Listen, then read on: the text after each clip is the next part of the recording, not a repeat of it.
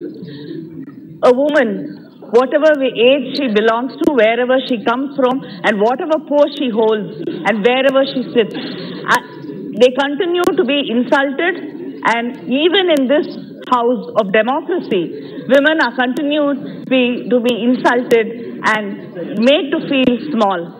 I condemn this. This cannot go on, and definitely bringing the reservation and bringing more women's reservation and bringing more women into this house will add to the strength of women. And i'm sure we are with the government to support the bill uh, when they bring it. And it's unacceptable that somebody can insult a fellow uh, parliamentarian like this.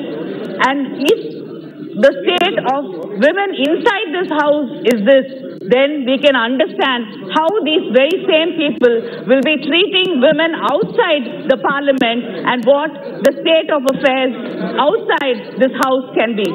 I condemn this again and I stand with the uh, parliamentary member. बोलो